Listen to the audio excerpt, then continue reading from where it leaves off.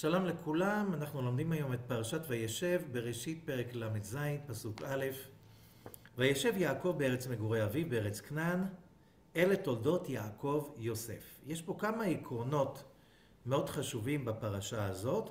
קודם כל, מה מכסה הפרשה?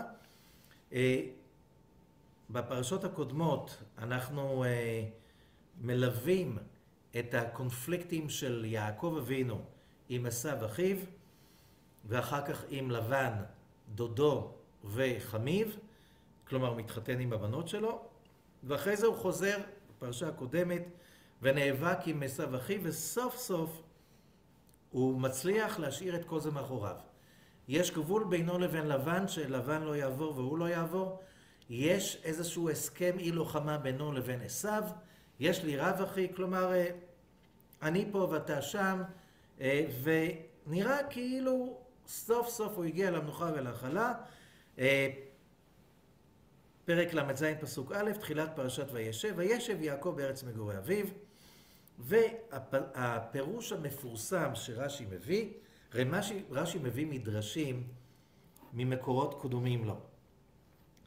והפירוש הכי מפורסם מופיע בפירוש רש"י, וישב יעקב, ביקש יעקב לישב בשלווה, קפץ עליו רוגזו של יוסף, שזה אומר צדיקים מבקשים לשב בשלווה, והקדוש ברוך הוא אומר, לא דיין לצדיקים מה שמתוקן להם לעולם הבא, לא מספיק לצדיקים לא מה שמחכה להם לעולם הבא, אלא שמבקשים לשב בשלווה בעולם הזה.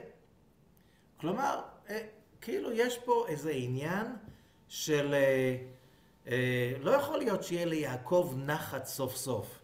הרי נחת לא הייתה לו. מההתחלה הוא נאלץ להיאבק עם עשיו, אחר כך עם לבן, חוזר בחזרה, סוף סוף הוא הסתדר איתם, נופל עליו, מה זה תיק טראומטי, יוסף. אלה תולדות יעקב, יוסף. יוסף, כלומר, יותר מכל האחים, והסיפור אומר לנו, האחים כינו בו, כי האחים ראו שיש פה קשר מיוחד בין יעקב ליוסף, שם הוא קיבל את המכה.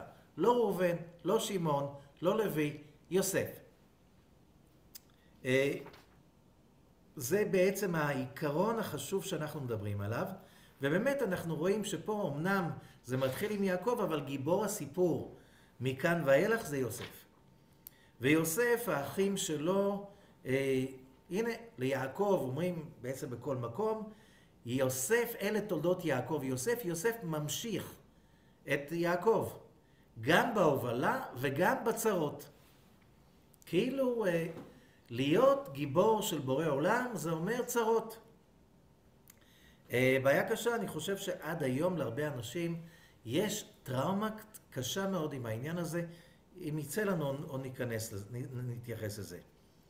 הנה יעקב, בחיר שבאבות, אה, המושלם שבאבות, כי הוא בעצם זה שמחבר ומוציא לפועל את אברהם ויצחק. הוא הסינתזה, כמו שדיברנו על זה בשיעורים קודמים. ולעומת זה, יוסף, שהוא גם כן אותו דבר, כי כמו אם אנחנו מסתכלים על מלאכת המרכבה, יש לנו את חסד, גבורה, תפארת, משולש עליון, אברהם חסד, יצחק גבורה, יעקב תפארת. זה המשולש העליון, ושלושתם נמצאים במה שנקרא בהאבות. זאת אומרת, הם מניחים את היסודות הרוחניים לכל העניין של עבודה רוחנית, של כל אדם בעולם הזה. אבל צריך להוציא את זה לפועל, זה המשולש התחתון.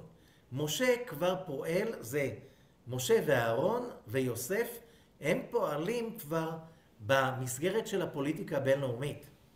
הם לא פועלים במסגרת של אדם פרטי ואלוהיו, הם כבר פועלים במערכת של איך מיישמים את כל העקרונות האלה בחיים של, בחיים של אומה, בחיים של יחסים בינלאומיים, בין מדינות. אה, זה משה, כמו שאברהם, יצחק ויעקב, משולש עליון, חסד גבוהה תפארת, גם ימין, שמאל ואמצע משולש תחתון, משה, אהרון, יוסף. והנה יוסף, שהוא בעצם שוב הסינתזה, יסוד, אה, מסתבר שאם אתה נושא איזה מסר, החיים שלך לא יהיו קלים. אה, למה? למה, למה נענש יעקב, הוא היה איש תם, יושב באוהלים, מה רוצים ממנו? ויוסף, איזה גיהנום שהוא עובר, הנה האחים שלו הולכים להרוג אותו. זורקים אותו לבור ריק, אין בו מים. מה אומר הפירוש? אין בו מים, אבל נחשים ועקרבים יש בו. ויש, ויוצא נס. לא העקרבים הורגים אותו, לא האחים הורגים אותו, הם מוכרים אותו לעבד. אבל כתוב, פרשת משפטים, גונב איש ומחרו מות יומת. לקחת את החירות של אדם זה, זה כמו להרוג אותו, זה גזר דין מוות. לקחת, לגנוב בן אדם מהבית שלו. וזה מה שהם עשו, זה, זה גזר דין מוות. לקחת לאדם את חירותו, את החירות שלו לחיות את החיים שלו. אה, האחים שילמו על זה יותר מאוחר, אבל אה, יוסף עובר את זה והוא עבד, מגיע לפוטיפרה ושם משתלחת בו, הוא מצליח ושם יש את פוטיפרה, בסוף הוא מגיע ל, לכלא, על לא עוול בכפו, צרות על גבי צרות. מה המסר שלנו? מה המסר שלנו בעיקר בזמנים כל כך קשים היום, שבהם בעצם הזהות של כל אחד ואחת מאיתנו במין האנושי של היום זה דבר כל כך, כל כך רעוע, דבר שכל כך אדם צריך להילחם עליו, כי סתם זהות זה קשה, אנחנו נמצאים בפוליטיקה של זהויות והמלחמת גוג ומגוג נמצאת בעיצומה, בשיא כוחה. ואחד הדברים העיקריים של המלחמה הזאת זה לגזול לאנשים את הזהות שלהם. ואנשים קשה, ואנשים ללא זהות זה, זה, זה, זה בעצם קל מאוד לשלוט בהם, אבל זה ללא זהות זה ללא חיות. אז בואו ננסה להבין את המסר של הפרשה הזאת כדי שנבין לצורך עצמנו היום, שאנחנו עדים לשינויים טקטונים אדירים שהולכים ומתגברים כל העולם משתנה מול העיניים שלנו, כמו שאמרתי לפני הקורונה, איך שנכנס תש"פ, שאנחנו עומדים עכשיו בפני שינויים טקטוניים, העולם יהיה כל כך לא העולם שאנחנו מכירים בסוף העשור הזה, ואנחנו עדיין רק בתחילתו. רק בתחילתו. אה, דברים צפים לפני השטח שלא היו, ו... כל מה שחשבנו מבחינת הזהות שלנו מתערער כי אנחנו חייבים למצוא את הזהות האמיתית שלנו, שלנו ולא זהות מושאלת. ובואו ננסה להבין מה זה מתוך הפרשה. אה, נתחיל מההתחלה של הפרשה, פרשת וישב. וישב יעקב בארץ מגורי אביו בארץ כנען. רבי חייא פתח ואמר, רבות רעות צדיק ומכולם יצילנו השם. תחה זה, כמה מקטרגים איתלי לברנש. מיומא דקודשא בריך הוא יהב בי נשמתה בהאי עלמא. דכיוון דנפק ברנש לאווירה דעלמא, מיד הזדמן להשתתפה בעדי יצר הרע. כמה דאיתמר דכתיב לפתח חטאת רובץ. וגומר, וכדי נשתתף בעדי יצר הרע. רבי חייא פתח ואמר, אני קורא פירוש הסולם, סעיף א', תרגום. רבות רואות צדיק ומכולם יצילנו השם. תהילים ל"ד כמה מקטרגים יש לו לאדם מיום שנתן לו הקדוש ברוך הוא נשמה בעולם הזה. דכיוון שיצא האדם לאוויר העולם, איך שנולד האדם, מיד מזדמן יצר רע להשתתף עמו, כמו שלמדנו שכתוב לפתח חטאת רובץ. מה הכוונה? איך שהתינוק נולד ובקע את הפתח החוצה אל העולם הזה, אז נשתתף עמו היצר רע. כלומר, מהרגע שנולדנו, היצר הרע הוא שותף בלתי נפרד במהות שלנו. ובואו ראה, אני ממשיך בפירוש הסולם, שכן הוא. מה ההוכחה שיצר הרע נכנס והוא משתתף איתנו כבר מהלידה? כי הבהמות מיום שנולדו, כולן שומרות את עצמן ובורחות מאש. ומכל מקומות הרעים אנחנו רואים שבעלי חיים מרגע לידתם, יש להם נטייה מולדת להימנע, להימלט מסכנה. אש, בעלי חיים בורחים מהאש. וממקומות רעים. האדם, איך שנולד, מיד בא להשליך עצמו לתוך האש. מי שגידל ילדים יודע שהיכולת של ילד קטן להמציא סכנות חיים היא בלתי נדלית. וזה אך מי שלא רואה את הנס שיום יום עובר והם לא הורגים את עצמם, זה נס עצום. האדם מיד שהוא בא להשליך את עצמו אל האש, מתוך שהוא היצר רע שלו בתוכו. מה ההוכחה מזה? שלבני אדם יש יצר רע, לבעלי חיים אין יצר רע. אחרת למה ילדים נמשכים אל האש, נמשכים אל הסכנה, כמו אה, נדבקים אליה, בצורה הכי יצרית, יצירתית שיכולה להיות. וההורה כל הזמן נמצא בחרדות של אה, מה יקרה לילד, כי הילד ממש, אתה צריך להשגיח עליו בכל רגע. הוא מיד מסיתו לדרך הרע, זה מה שהיצר רע עושה. ולכן כתוב, כתיב, טוב ילד מסכן, זה אנחנו, אה, זה ציטוט מ... אה, זה ציטוט מ... אני חושב, שנייה.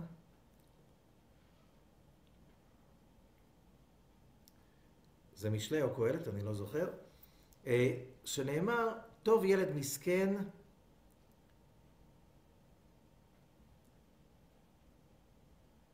וחכם, ממלך זקן וכסיל, אשר לא ידע להיזהר עוד. טוב ילד, מי זה הילד? זה יצר הטוב, דהו ילד. מימין זעירין דימי דברנש דעה מתלסר שנין ואילך כמה דהתמר. ממלך זקן וכסיל, ממלך דהו יצר רע. יש לאדם מלך וילד. המלך הוא זקן וכסיל, זה היצר הרע. למה הוא מלך זקן? קודם כל הוא מולך כי הוא בא איתנו בלידה. והוא מולך בנו, הוא מושל, הוא שולט על האג'נדה, כלומר, יצר לב האדם רע מנעוריו. פרשת בראשית. מחשבות ליבו אך רע כל היום, רע רצון עצמי. זה המלך זקן. למה כסיל? כי אם אני הולך בעצת יצר הרע, החיים שלי אך ורק נכשלים, והיום כולם אה, בעולם של הפסיכולוגיה המודרנית מכירים את מבחן המרשמלו, שמראה שילדים קטנים, שאין להם יכולת דחיית סיפוקים, יגדלו למבוגרים אה, כושלים וחסרי אה, משמעת עצמית. לעומת זה ילדים קטנים שיש להם משמעת עצמית, דחיית סיפוקים, מבחן המשלמה לא אומר, אתה מציע לילד בן ארבע או חמש, מציע לו הצעה כזאת, עסקה. אתה רואה פה שתי, אה, שתי צלחות, אחת יש משמלו, אחת סוכריה אחת, ולאחת יש שקית מלאה סוכריות. אם תתאפק, תשב מול הסוכריות שעה שלמה ולא תיגע בהן, תקבל את כל השקית. אבל אתה יכול לקחת עכשיו, אם אתה רוצה, את הסוכריה, אבל אז לא תקבל את השקית. ילדים שלא מסוגלים אה, לדחות את הסיפוקים, הם חייבים לאכול את הסוכריה עכשיו, והם לא מסוגלים להתאפק שעה כדי לזכות בשקית. זה מה שנקרא ילדים שאין להם דחיית סיפוקים, והם הופכים להיות מבוגרים לא כל כך מוצלחים. ילדים שמצליחים להתאפק בגיל 4-5 ולחכות שעה וכדי לקבל את כל השקית ולא רק סוכריה אחת, הם הופכים להיות למבוגרים הרבה יותר מוצלחים. אז מה ההבדל בין ילד א' לילד ב'? שניהם ילדים קטנטנים, כמה, כמה חינוך כבר הספקנו לטעת בילד. זה משהו שבנוי, מובנה בתוך הילד כבר, אני לא אכנס לעניין, אבל יכול להיות שמגלגולים קודמים, אבל אנחנו מבינים שכל העניין של יצר רע, רע, זה רצון עצמי מיידי, זה דבר מאוד מאוד אה, דומיננטי בתהליך ההתפתחות של האדם. ולכן, הילד מסכן אה, וחכם, זה יצר הטוב. הוא מגיע אצל בנות בבת מצווה, אצל בנים בבר מצווה. למה ילד? כי הוא צעיר. המלך, היצר הרע, הוא יותר זקן, הוא היה מההתחלה. הוא היה שם קודם. אשר לא ידע להיזהר עוד. לא כתיב להזהיר, אלא להיזהר משום שהוא כסיל. היצר הרע הוא כסיל. בסופו של דבר, כשאנחנו מקשיבים ליצר הרע, זה אך ורק נגד האינטרס שלנו לטווח ארוך. ולמה חשוב הטווח הקצר? הטווח הקצר לא נותן כלום. היי וביי. ועליו אמר שלמה המלך, והכסיל בחושך הולך. כי אם אני מקשיב ליצר הרע, אז אני כסיל, ואני הולך בחושך. כי מפסולת החושך הוא בא, ואין לו אור לעולם. אבל מי שאינו יודע להזהיר לאחרים, אינו נחשב עוד לכסיל מחמת זה. אה, נמשיך הלאה. אה, מאוד מומלץ לקרוא את כל המאמר, אבל אין לנו זמן לזה. ואני קופץ לסעיף י"א כדי לקשר עם מה שאמרנו פה בהתחלה, הפסוק הראשון, שאמרנו רבות רעות צדיק. כלומר, יש שתי דרכים לקרוא את זה. כי הצדיק, האם מדובר, הזוהר שואל אותנו, זה שיש לאדם הרבה רעות וצרות שקורות לו בחיים, אז הוא יצא מזה צדיק. לא, הזוהר אומר לא, אפשרות אחרת, אפשר לקרוא את זה גם. אם אני רואה בן אדם שיש לו הרבה צרות, אז הוא צדיק. אה, למה צדיק וטוב לו, רשע ורע לו? צדיק ורשע וטוב לו, צדיק ורע לו. למה הרשעים סובלים? הצדיקים סובלים. אבל צדיק ההוא שהוא ירא את ריבונו, כמה רעות הוא סובל בעולם הזה. זה הפרס שלי שאני ירא את ריבוני. כדי שלא יאמין ולא ישתתף עם יצר הרע. והקדוש ברוך הוא מצילו מכולם, שזהו שכתוב רבות רעות, צדיק. אם אתה רואה מישהו שיש לו הרבה צרות, זה צדיק. ומכולם יצילנו השם.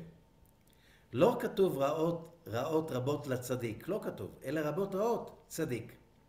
פירושו הוא שהסובל רבות רעות הוא צדיק, משום שהקדוש ברוך חפץ בו. כי הרעות שסובל מחזיר, מרחיקות אותו מן יצר הרע כנ"ל.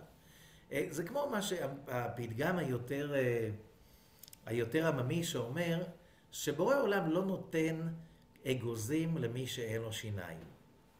בוא נחזור רגע למחשבת הבריאה. אי אפשר בלי זה. כי בלי זה אי אפשר להבין שום דבר. מחשבת הבריאה היא להיטיב לנבראים. אלא מה? הנבראים שנבראו בצלם אלוקים, יש בהם את הצורך לברוא את ההצלחה שלהם ואת ההערה שלהם מעצמם.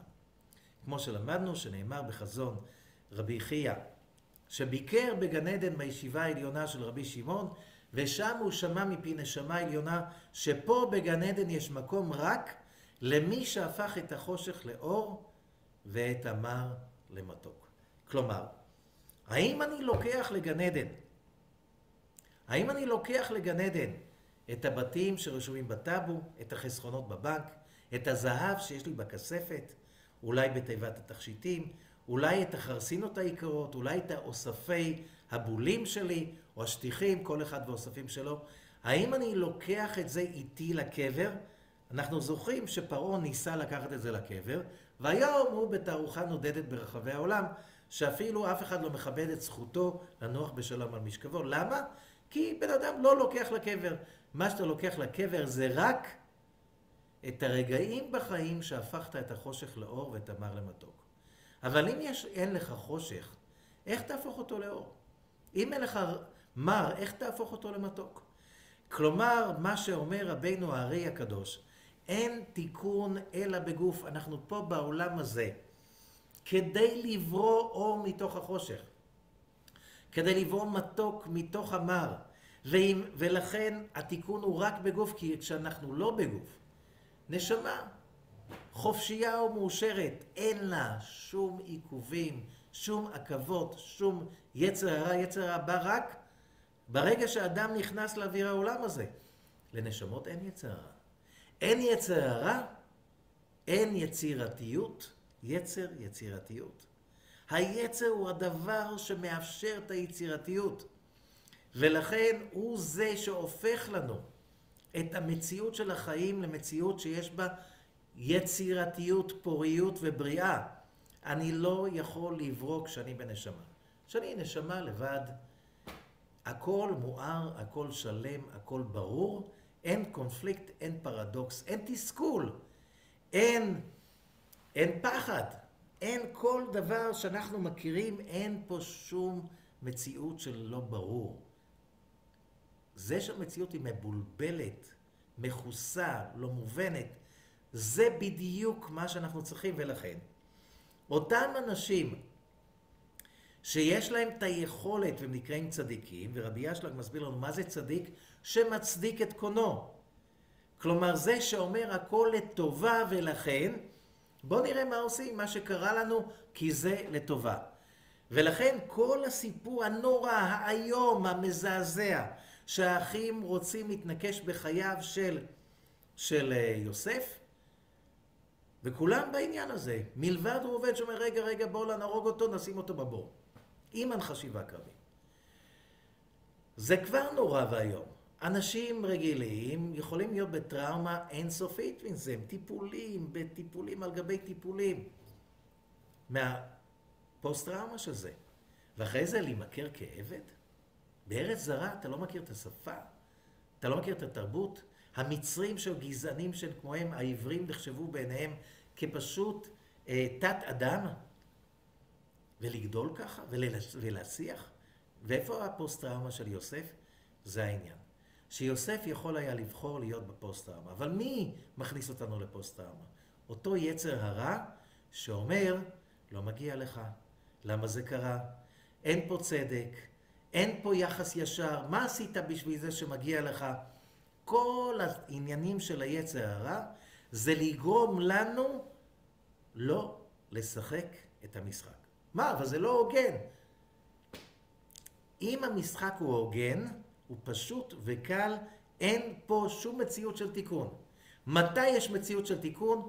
שהמשחק הוא לא הוגן, שזה לא הוגן, שאתה לא רואה סיבה ותוצאה, שאתה לא רואה את הנוכחות של הבורא ואתה לא רואה את הנוחות של הצדק בעולם, וצדק זה רק שם של כוכב.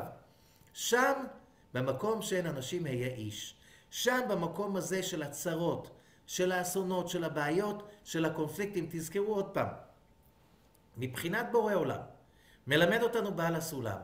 הוא מעל הזמן, מעל המקום. זה לא רק בעל הסולם, זה כל גדולי ישראל. הוא מעל הזמן ומעל המקום. אין עוד מלבדו, ומכיוון שהוא מעל הזמן, רק אנחנו בתוך הזמן. מבחינת בורא עולם, הסיפור נגמר. אין פה סבל, יש פה אתגרים. אין פה אי צדק, יש פה התמודדות. לא נתמודד עכשיו, נתמודד בגלגול הבא.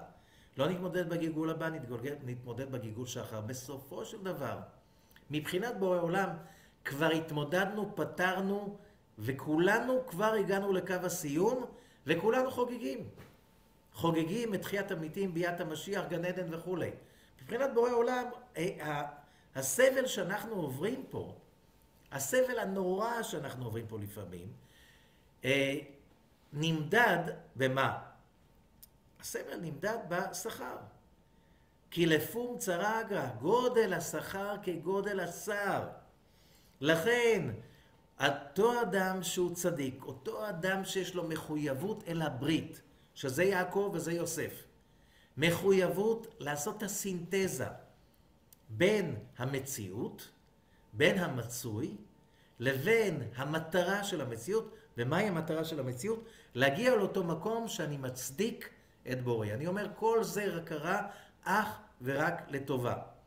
איך אנחנו יודעים שיוסף, כדי להיות יוסף הצדיק, איך אנחנו יודעים שהוא עומד בזה? אנחנו רואים את זה כבר בהתחלה. ברגע שיוסף נמכר לעבד לפוטיפרה, ופוטיפרה רואה כל אשר הוא עושה, אדוני מצליח בידו. באותו רגע אנחנו מבינים שיוסף הוא צדיק. למה הוא צדיק? כי בן אדם שמצדיק את קונו ומצ... ואומר הכל לטובה, קם בבוקר עם התלהבות לברוא ולעשות ולייצר, ואז השם מצליח בידו. וזה רואה פוטיפר, הוא רואה שהילד הזה, בן 17, משהו נוגע מצליח. כי עובד בשותפות לא עם היצר הרע שלו. מה היצר הרע של יוסף אמר לו? איך אתה יכול לעבוד? אתה נמכרת לעבד. אתה, האחים שלך רצו להרוג אותך, אתה צריך להיות בפוסט-טראומה. אבא שלך, אבא שלך, שחשבת שהוא אוהב אותך, הוא לא אוהב אותך, הוא שונא אותך. למה הוא שלח אותך לאחים? למה הוא שלח אותך לאחים ששונאים אותך? זה הוא אשם, זה הוא התחיל, הוא בגד בך. ככה יצר רע מדבר. מי ששומע ליצר הרע, נשאר קורבן. אין לו מסוגלות נפשית לקום בבוקר ולהתמודד עם החיים ולהגיד באופטימיות, הכל לטובה, בואו נראה מה שיהיה ונתמודד עם זה, קוראים לזה העבודה של החיים. זה עבודה של התמודדות עם כל בעיה שהיא, ואדם שיודע להתמודד עם זה גם מסוגל להיות איש מקצוע מעולה, כי לא משנה מה, באיזה תחום אתה עובד, להיות איש מקצוע זה לקחת צרות של אחרים ולתקן אותם. לקחת בעיות ואי תקינות של דברים ולתקן אותם. זה בעצם להיות מקצוען, אבל אתה חייב לעשות את זה גם בחיים האישיים שלך. כי אחרת מאיפה תיקח את הכוחות גם להיות מוצלח בחיים המקצועיים שלך? זה יוסף. למה הוא צדיק? זה החומר שממנו עשויים צדיקים. זה אותו אדם שהוא מבין, קמתי בבוקר כי יש לי מחויבות. יש לי מחויבות לא להיות, להסתכל כל הזמן מסביב ולהגיד, זה לא בסדר וזה לא צודק, ואת זה אנחנו שונאים כי הוא גנב, כי הוא רוצח, כי הוא שודד. ואנחנו רואים בעולם שלנו יש שתי אסכולות. יש אסכולות יצר הרע, אסכולות יצר הרע מחפשות את מי אנחנו שונאים, כי הוא אשם בכל הכישלונות, כי המדינה על הפנים, המדינה כושלת, החברה כושלת, זה לא בסדר, ואנחנו נהיה, איך נפתור את הבעיה? בזה שאנחנו נשנא את האחראים לכישלון. זאת אסכולה אחת. זאת אסכולה בראשות היצר הרע. מדוע? איך צועק היצר הרע? הוא אשם. ואמרנו, אצבע אחת אלא הוא, אצבע אחת זה למעלה, בורא עולם, למה נתת לו? האישה אשר אתה, האישה אשר אתה נתת עמדי, היא זאת שפיתתה אותי. שלוש אצבעות, ולמה אתה הקשבת? לא היית כשאמרתי לך, לא, תיגע, לא, לא תאכל מפרי העץ הזה? זה בעצם לקחת את האחריות, זוהי הזהות המרכזית, עמוד התווך של האישיות של האדם המצליח, לוחם האור. אני לא באתי לפה ליהנות מבתים יפים, מאוכל טוב וכולי, למרות שזה אין שום בעיה אם אתה נהנה מזה. אין שום בעיה. הבעיה היא באיפה אתה מזהה את עמוד התווך של החיים שלך. לחפש את ההונאות של החיים זה רע. רצון עצמי. לחפש את ההנאה הגדולה של להפוך את המר למתוק ואת החושך לאור, זה עמוד התווך, זה הברית. כאשר אנחנו מסתכלים על אילן הספירות, זה בדיוק אלה תולדות יעקב יוסף. אם אנחנו מסתכלים על עץ החיים, קו ימין זה חוכמה, חסד, נצח. קו שמאל, בינה, גבורה, הוד. קו אמצע, דעת, תפארת, יסוד. מה זה תפארת יסוד? יעקב, יוסף. כלומר, להתמרכז במקום הזה שבו אני מצליח למזג את הימין ואת השמאל. כדי מה? כדי להפוך את הרע לטוב, את החושך לאור ואת המר למתוק. זה מה שמגלה אנרגיה במציאות שלנו. זה המחולל אנרגיה. כמו שיש אה, מחולל אנרגיה של ביטקוין ומחולל אנרגיה של אה, חשמל ויש מחולל אנרגיה. הרי כל המציאות עובדת על אנרגיה, הכלכלה עובדת על אנרגיה. האנרגיה הזאת מיוצרת על ידי התוצר הלאומי הגולמי וכן הלאה וכן הלאה, יש מחוללי אנרגיה. אבל מחולל האנרגיה המרכזי, העיקרי, עמוד התווך של כל הבריאה שבתוכה אנחנו חיים, כל המציאות שבתוכה אנחנו חיים, זה היכולת הזאת של להפוך את החושך לאור ואת המר למתוק. זה היכולת של לקחת את הרעות ולהפוך אותן להזדמנויות. אם יוסף היה נשאר בבית יעקב אביו, ושם יעקב באמת היה מקיף אותו, בכל הטוב שבעולם שהוא לא זכה לו. הרי זה בעצם מה שהורים מנסים לעשות. לתת לילדים מה שאנחנו לא זכינו לו. כי יעקב גדל בסביבה עוינת, קשה מאוד. אח שרוצה להרוג אותו, דוד שרוצה להרוג אותו, אה, ומרמה אותו. שהוא צריך לגנוב את ה... ובמרמה לקחת את הבכורה ואת הברכה, וגם את החיים. מהאח הרוצח שלו. כל, זה דברים קשים. אה, ולאברהם וליצחק גם כן לא היו חיים כאלה קלים. הנה עכשיו הוא מנסה לעטוף את יוסף.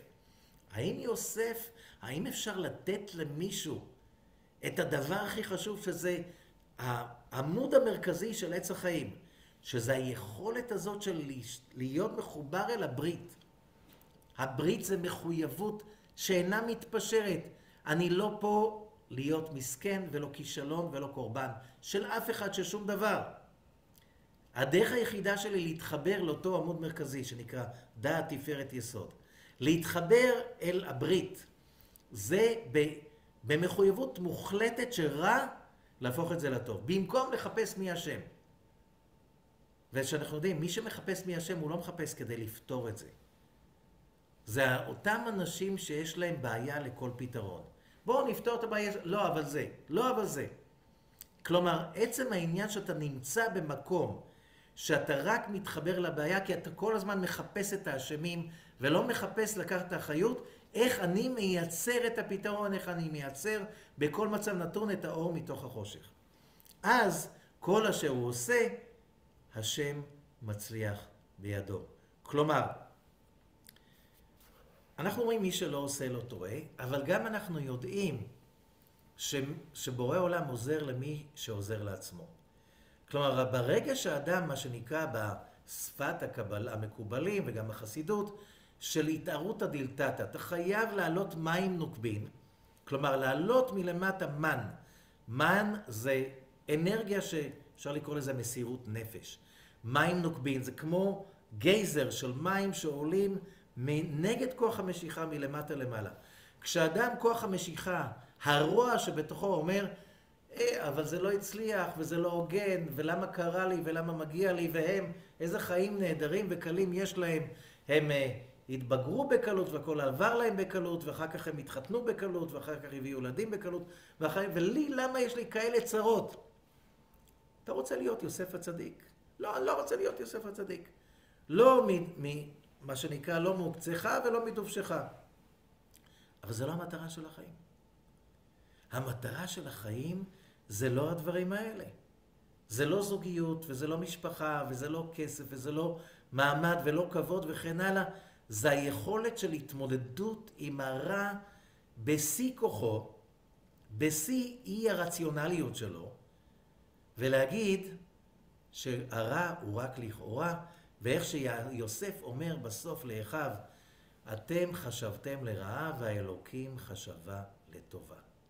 זה צדיק שמצדיק את קונו, כלומר, מה שקרה, לא משנה מה, כמה זה נורא וזה לא רציונלי, אני לא נכנס לי לחפש את הרציונליות. אני מסתכל על זה בתור רציונלית אחת בלבד. יש פה רעה, רבות רעות, צדיק. ואני אמור להפוך את הרע לטוב. אני אמור להפוך את החושך לאור. אחרת, אם אני לא מסתכל בצורה כזאת ולא מאמן את עצמי כל חיי לעשות את זה, למה קיימות תורות? התורה והמצוות וכן הלאה. רצה הקדוש ברוך הוא לזכות את ישראל, לפיכך הרבה להם תורה ומצוות. בראתי יצרה, בראתי תורת אבלין. זה בעצם הכלים, אותם מצוות, שדרכם אנחנו מושכים את הכוח, את האור, שבאמצעותו נוכל להתגבר על היצר הרע ולראות את הטוב שבחיים. וליצור את מה שנקרא סיפור ההצלחה המסחרר הלא הגיוני, שכולו מלא ניסים ונפלאות. מה זה ניסים ונפלאות? זה לצאת מהקופסה. מה זה לצאת מהקופסה? ההיגיון של היצר הרע שנולדתי איתו אומר לי שאין לי סיכוי, שאין לי כוח, שאין אפשרות. שמהטראומה הזאת אני בחיים לא אצא. שמהאסון הזאת, הזה, עליו אי אפשר להתגבר. האנושות התגברה על כל כך הרבה אסונות בהיסטוריה שלה. אנשים התגברו על כל כך הרבה שואות ואי צדק. נכון, היו הרבה קורבנות שלא יצאו מזה, שלא התאוששו מזה. אבל אנחנו לא לומדים מהם. אנחנו לומדים מאלה שכן הצליחו, שכן הראו לנו את הדרך, שכן נלחמו, שכן שרדו ולא שרדו, אלא ניצחו בגדול. והצליחו להביא את העולם לאיפה שהוא נמצא היום. ועכשיו התפקיד שלנו זה להביא את העולם לשלב הבא, למרות כל הקשיים והרעות והאסונות והאי רציונליות של הרוע הבלתי מתפשר.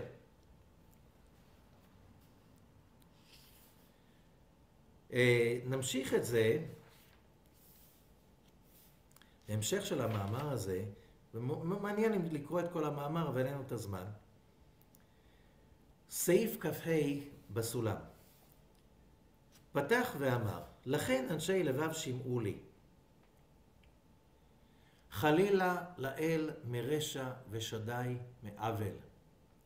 איוב, פרק ל"ד. חלילה לאל מרשע ושדי מעוול. הרשע לא בא מהאל, והעוול לא בא ממנו גם כן. כי פועל אדם ישלם לו, וכאורח איש ימציאנו. מי משלם לאדם? המעשה שהוא, שהוא עשה, הוא זה שחוזר אל האדם כדי לתת לאדם הזדמנות לתקן אותו. וכאורח איש ימציאנו. מה זה אורח איש? הדרך שאדם חי. ככה, לאן שאתה הולך, מוליכים אותך. תיקח אחריות על כל מה שקורה לך. תחא כד ברק קודשה בכו עלמא. עבד לי על דינה, ועל דינה יתקיים. וכל עובדין דעלמא, אינון קיימים בדינה. בר דקודשה בכו בגין לקיימה עלמא ולא יתאבד. פרש עלי רחמי, ואינון רחמי מעכבי לדינה. דלה ישתצא עלמא, ועל רחמי יתנהג עלמא ויתקיים בגיני. כאשר ברא הקדוש ברוך הוא את העולם, עשה אותו על דין, והוא מתקיים על דין. וכל מעשי העולם מתקיימים על דין. מלבד שבכדי לקיים העולם שלא יאבד, הקדוש ברוך הוא פורס עליהם, עליו רחמים. מה זה דין? עיכוב. מה זה עיכוב? כי פועל אדם ישלם לו. אם מתעכבים לי דברים בחיים, והחיים הם לא קלים, אז יש פה דין. מי יצר את הדין הזה? מעשה ידיי. האתגר שאני צריך לתקן, לכן זה נקרא תיקון. אני צריך עכשיו לקחת את המעשה הזה, את הדין הזה, את הקושי הזה, ולהפוך אותו לאמצעי לגילוי של הערה. כי רק חושך הופך לאור. אור לא הופך לאור, זה לא, זה לא הפיכה, זה לא, זה לא תיקון, זה לא יצירה, זה לא בריאה. זה לא יש מאין. כלומר, כדי שהעולם לא יאבד, הקדוש ברוך הוא פורס עליו רחמים, כלומר, הרחמים של בורא עולם מעכבים את הדין, שהדין שאנחנו בוראים ויוצרים על ידי הטעויות שלנו, לא יחסל אותנו במקום. והרחמים האלו מעכבים את הדין שלא יכלה את העולם. והעולם מתנהג ברחמים ומתקיים על ידו. מה זה ברחמים? ש... שזה דין על הדין, עיכוב של העיכוב. כלומר, שאותם כוחות של דין שפועל האדם יצר, שבאמת מגיע לאדם מכות קשות, בעיקר בגלל מה שהוא עשה, רחמים מחלק לו את זה כמו משכנתה לתשלומים שאתה יכול לשלם מתי שאתה יכול שיהיה לך תשלם. ואם תאמר שהקדוש ברוך הוא עושה דין באדם בלי משפט, הרי למדנו שהדין שורה על האדם והוא צדיק, ומשום אהבת הקדוש ברוך הוא עליו, כמו שלמדנו. כאשר הקדוש ברוך הוא מרחם על האדם באהבה, לקרבהו אליו, משבר הגוף בשביל להשליט את הנשמה. הוא שולח לאדם את הקשיים כדי שנהיה מקצוענים, כדי שאנחנו נצטיין באיזשהו דבר, זה מחייב אותנו להתמודד עם קשיים. מי ש... אם אנחנו בשיטת חינוך מנסים לקחת לילדים את העניין של תחרות ותחרותיות, כלומר יוצאים מתחרות איזושהי וכולם מנצחים ומגיעים למקום הראשון, אה, יש פה בעיה. יש פה בעיה מכיוון שאין פה, לא נוצר שום צורך להתעלות מעל עצמנו, להתאמץ, להילחם בנטייה המולדת שלנו לא לעשות מעל ליכולתנו. הרי איך בן אדם בונה מסת שריר? על ידי זה שהוא דוחף מעל יכולתו. איך בן אדם בונה מקצוענות אמיתית, שהוא דוחף את עצמו ללמוד ולעשות מעל יכולתו. רק ככה אדם שהוא מתעלם על עצמו, הוא הולך ומתפתח וגדל ומגיע לזהות של מה הזהות? הפכתי את החושך לאור ואת המר למתוק. הפכתי את הבלתי אפשרי לאפשרי. הפכתי את האתגר לניצחון. שם קבור כל העניין של הזהות האנושית. היכולת שלנו להתמודד. עם מה אני מתמודד? עם מה שקשה לי, עם הצרות שלי וכולי. הזהות שלי נמצאת בכל הצרות האלה, בכל הבעיות האלה. בכל, ה...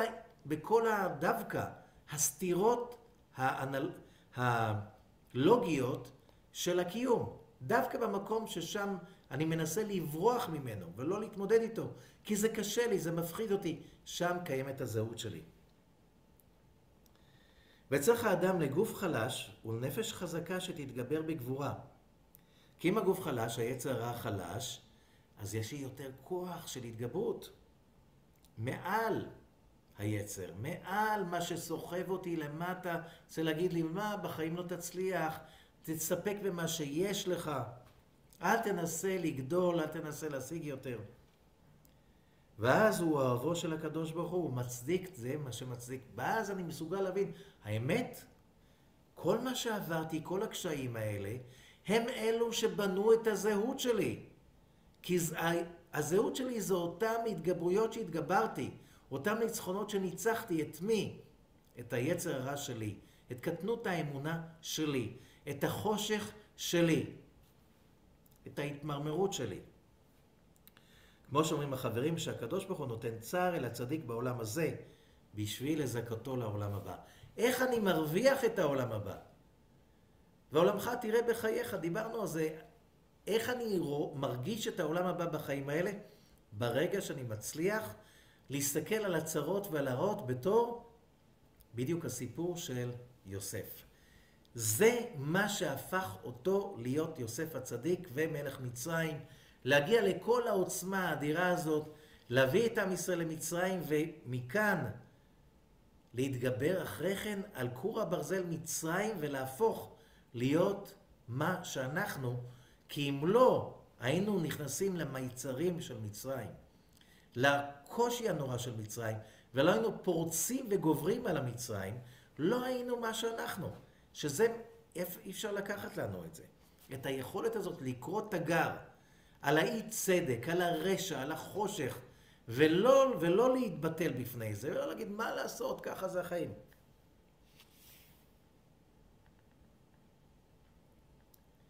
וכשהנשמה היא חלשה והגוף חזק, כי אנחנו מאכילים כל הזמן את הגוף ולא את הנשמה, הוא שונאו, הופך האדם להיות שונאו של הקדוש ברוך הוא.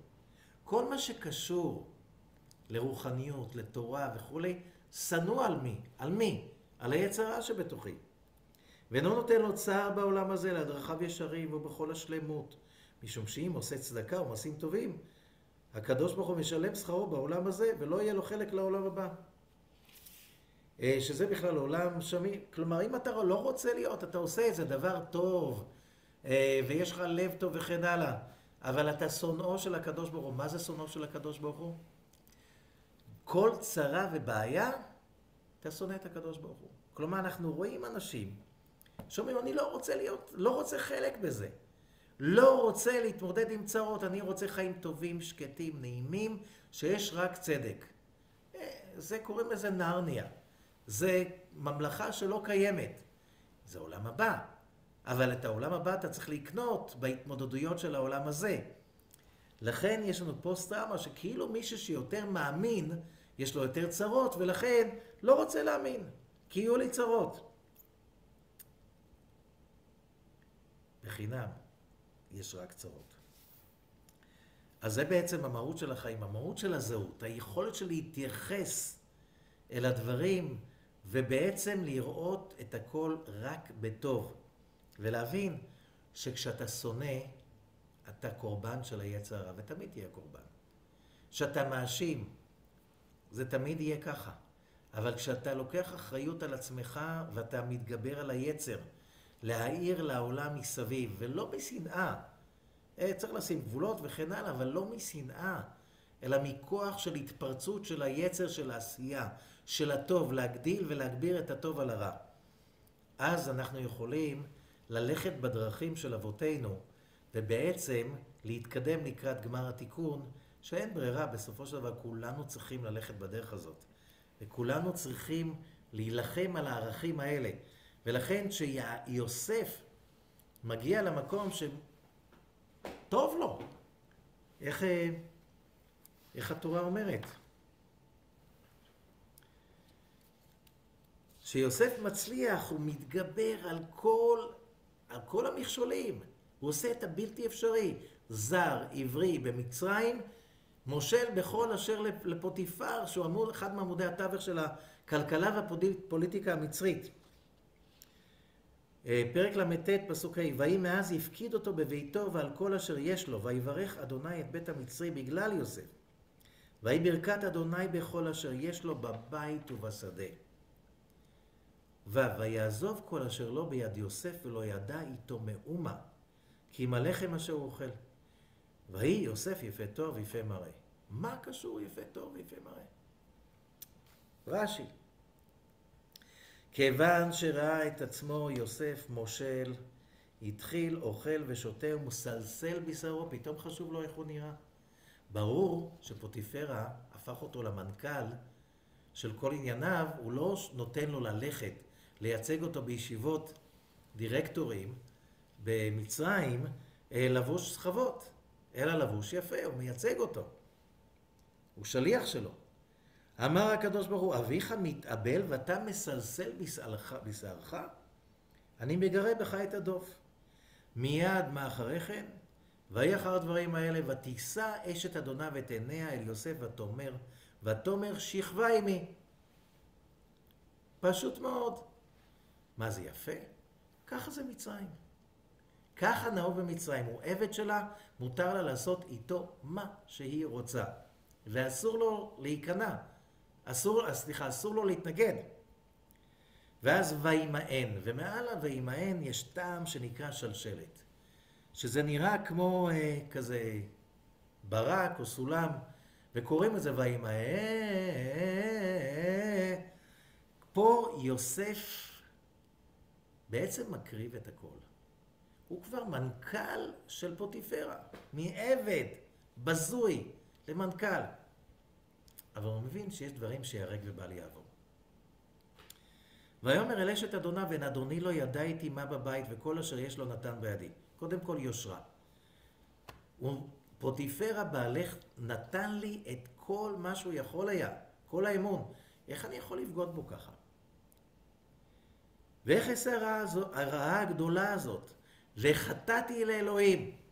ולא רק, אבל תגידי, הוא מסכים. אני חטאתי לאלוהים, את אישה נשואה. נגד היושרה שלי ונגד, ישנם עקרונות שיותר גדולים מהחיים ומהקריירה. זה חלק מהזהות שלנו, שאנחנו חייבים להגדיר אותה. זה לא נרטיב. כן, אבל זה נעים, ואם הוא מסכים, אז למה לא? אה, זוגיות, אולי פוטיפרה מסכים לזוגיות פתוחה. אה, ברור שבמצרים היו כאלה דברים. לא. אה, ואם פוטיפרה אומר שזה בסדר, אבל יש אלוהים שבשמיים, ולפי החוקים הקוסמיים של אלוהים זה לא בסדר. ולכן זה לא יקרה. ולכן וימהה הוא פשוט מתעלה ונהיה יוסף הצדיק כשזה מגיע לעניין של הקריירה שלך. הרי יכלה להרוס לו את הקריירה והיא הרסה לו. הוא אחרי כן שילם ב-12 שנים בכלא. נו, אבל רק ככה הוא נהיה המנכ"ל של כל מצרים, ולא רק המנכ"ל של פוטיפרה. לכן, זו העבודה שלנו. הזהות, המחויבות והברית. ואז אפשר להתחבר ליסוד, שבעצם זה אותו עמוד של שפע, הצלחה וזרימה, שבאמת עולם הבא תראה בחייך, אבל יש את ה... אבל זה מה שצריך לעשות כדי להגיע לזה. בהצלחה לכולנו. ושנזכה להתחבר לזהות שלנו, כל אחד בדרך שלו.